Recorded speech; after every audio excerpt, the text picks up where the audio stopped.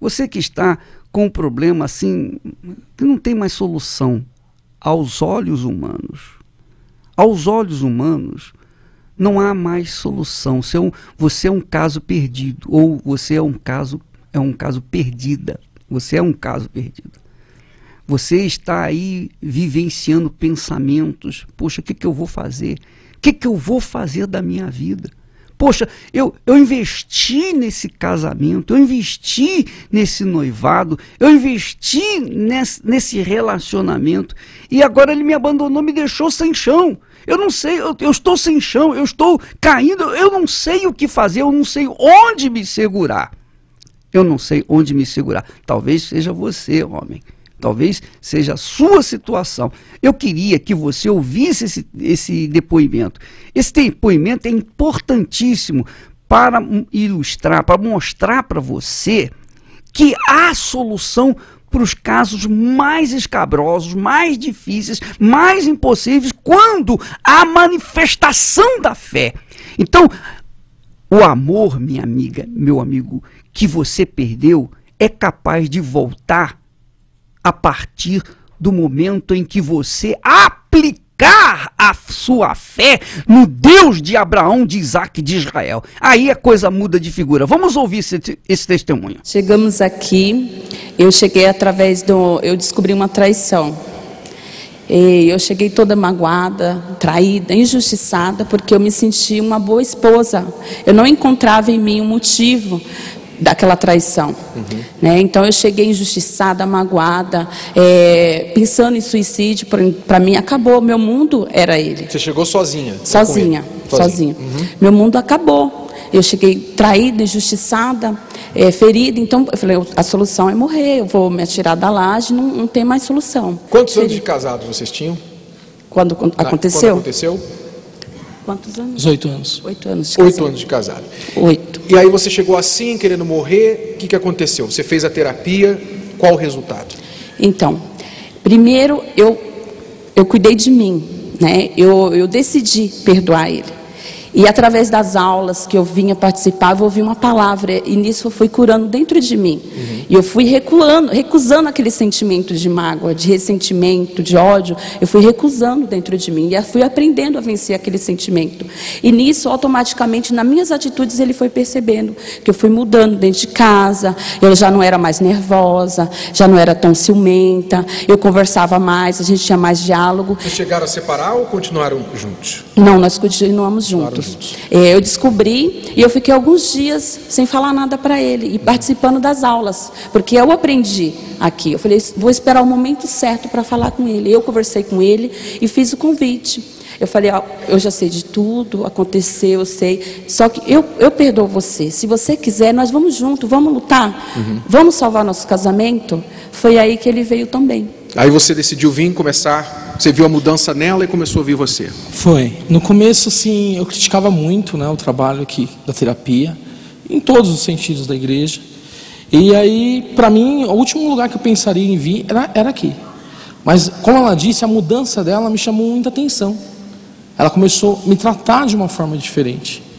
Aí eu comecei ao mesmo tempo olhar a situação e ficar com um pouco de medo também. Uhum. Porque, poxa, a mulher soube que foi traída e está mudando, está melhorando. Como assim? E nisso me despertou a vontade de conhecer.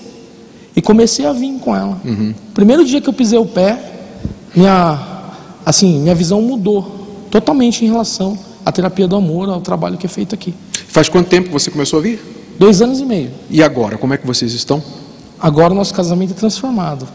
Agora é, tudo foi salvo aqui. Uhum é, afetou tudo, tudo na minha vida. Eu ganhava muito bem e eu, uma, uma área que afetou muito foi meu financeiro. Uhum. Então eu devia SPC Serasa, tudo, tudo, é, tudo afetou através da traição. Uhum. E hoje minha família foi salva. Tenho, tenho filhos que, te falar dos filhos é até difícil, né? Uhum. Mas assim, o que mais, assim, eu honro e vou honrar o resto da minha vida é esse perdão que ela conseguiu perdoar. Eu não sei se eu conseguiria. Uhum. Então ela aprendeu aqui a perdoar. E esse perdão eu vou honrar o resto da minha vida. E hoje nossa vida está transformada. E você vai honrar com a sua fidelidade, aprendendo, sendo um marido diferente agora, também honrando a esposa que você tem. Isso porque eu, eu aprendi a mudar também. Uhum. Eu, eu percebi que não, não era só ela que precisava mudar, eu também precisava mudar. E hoje, a melhor coisa que existe num homem é a consciência tranquila. É você poder chegar na sua casa, pegar seu celular, colocar em cima da mesa e tomar banho. E quando tocar o celular, você saber que é um cliente, ou, e não dever nada. E hoje eu deito a minha cabeça no travesseiro, sou fiel à minha esposa e sou muito feliz no meu casamento. Deus abençoe vocês. Continue assim, tá? Você vê o que ele mais valoriza hoje é esse perdão que ele recebeu da esposa, que é o que muitos gostariam de ter, mas não conseguem. Por quê? Porque erraram muito. Você errou muito, você machucou a sua mulher. Você fez a sua mulher chegar ao ponto dela não te querer mais, ela não quer você nem na porta de casa. Ela te rejeita, ela não quer ouvir a sua voz. Então, você, você é uma pessoa que está até perdida no que você vai fazer. Você precisa saber a direção de tomar, como esse rapaz. Quando ele tomou a decisão de vir buscar ajuda, então ele alcançou o poder para mudar e conquistar o perdão da mulher, que fez então que todo o seu relacionamento, o seu casamento fosse restaurado e agora a vida financeira, os filhos, tudo restaurou a partir do casamento. Isso é, é, é uma mara é maravilha, bispo, ouvir isso, porque a gente vê que a vida voltou para dentro dele. E eu fico imaginando, Renato, é o seguinte: eu fico imaginando, eu me coloco no lugar desse homem. E eu fico me imaginando o seguinte: a minha mulher me abandonar e eu ficar sem ela. Porque é, é como o meu mundo estivesse se abrindo debaixo dos meus pés. O que, que eu vou fazer da minha vida? Porque o homem, às vezes, ele, ele pensa assim: bom, eu, eu eu, eu me garanto, minha mulher está lá em casa, está tudo direitinho, tudo arrumadinho, ela confia em mim, eu confio nela e tal. Então, se o sujeito vive uma vida devassa, paralela à sua vida caseira, o que, que acontece? Ele está confiando que a mulher confia nele.